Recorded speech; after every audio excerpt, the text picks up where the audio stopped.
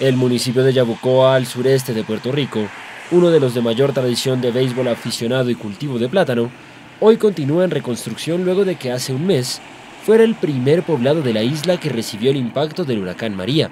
Los intensos vientos destruyeron la mayoría de los establecimientos y residencias en Puerto Rico construidos de madera y zinc, como la tiendita Picula original, propiedad de Adalberto Camacho Reyes, quien asegura que aún se está reponiendo del desastre.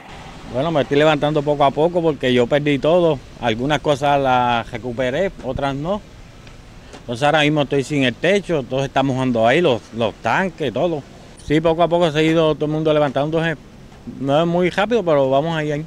La caída total de la electricidad en toda la isla luego del paso de María fue una de las mayores preocupaciones para sus residentes, así como para los negocios de comida o pequeñas tiendas. Recurrir a generadores de electricidad que funcionan con gasolina, lo cual es muy costoso, o enfrascarse en la arcaica tarea de prender un fogón con madera, son las opciones que le quedaron al chef Juan Nieves, quien hace tres semanas trabaja en un local renombrado como El Sobreviviente, por no haber perecido ante el paso del huracán. Nieves asegura que operar sin agua y sin luz es un sacrificio enorme, pero también reconoce que la situación para otros, tras haber perdido todas sus pertenencias, es mucho más devastadora.